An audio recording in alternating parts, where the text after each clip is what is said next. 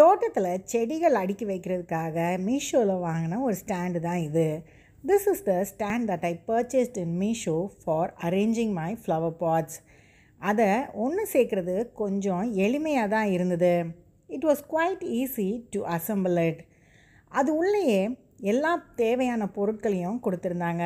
They have given enough material that was needed to assemble அதை எப்படி ஒன்று சேர்க்குறது அப்படின்ற வழிகாட்டல் இல்லாததுனால படத்தை பார்த்து அப்படியே கொஞ்சம் கொஞ்சமாக நாங்கள் ஒன்று சேர்த்துட்டோம்.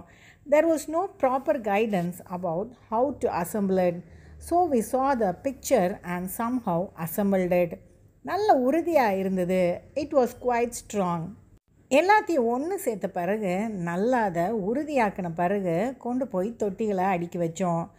After assembling everything we made sure that the nuts and bolts were tight and then we arrange the pots on top of it பொருள் நல்லா உறுதியாக தரமாக இருந்ததுனால என்னுடைய தோட்டத்தை இப்படி நான் அடுக்கி வச்சுருக்கேன். Since the product was very good I have arrange my garden like this